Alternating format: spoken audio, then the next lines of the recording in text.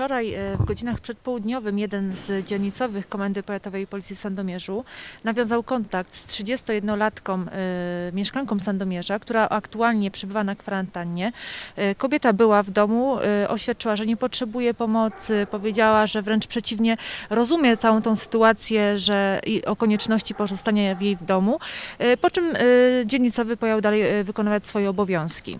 Kilka godzin później natomiast kobieta chyba jednak zdecydowała się wyjść z domu, e, myśląc, że skoro już policja była, to już do niej nikt nie zapuka. Na, na szczęście czujni sąsiedzi zorientowali się o tej, całej tej sytuacji i powiadomili dyżurnego komendy powiatowej policji w Sandomierzu. Na miejsce został skierowany patrol policji, który rzeczywiście potwierdził tą sytuację. Kobieta e, w czasie, kiedy miała przebywać w swoim mieszkaniu, w miejscu wyznaczonym na kwarantannę, w tym mieszkaniu jej nie było. Teraz kobiecie za swoje nieodpowiedzialne zachowanie grozi kara grzywny do 5 tysięcy złotych. Policjanci odwiedzają y, osoby, które są objęte kwarantanną minimum raz na dobę. Nie znaczy to, że ten policjant pojawi się raz. Może się pojawić dwa razy, może być nawet i trzy razy. Jeżeli y, ta osoba y, mieszka w, domu jednorodzinnym i ma do dyspozycji podwórko, oczywiście na to podwórko może wyjść.